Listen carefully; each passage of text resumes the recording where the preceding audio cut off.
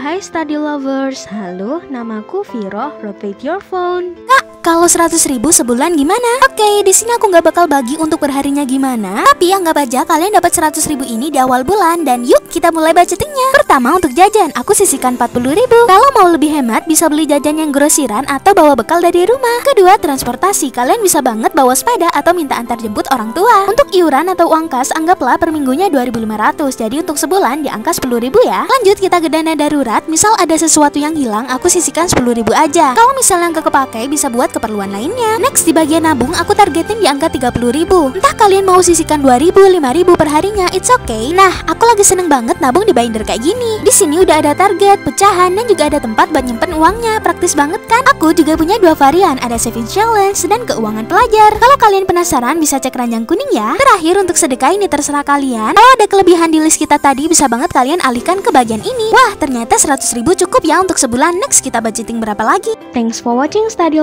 Jangan lupa like, comment, share, dan juga subscribe. Follow sosial media aku, linknya ada di description box. See you on my next video. Dadah!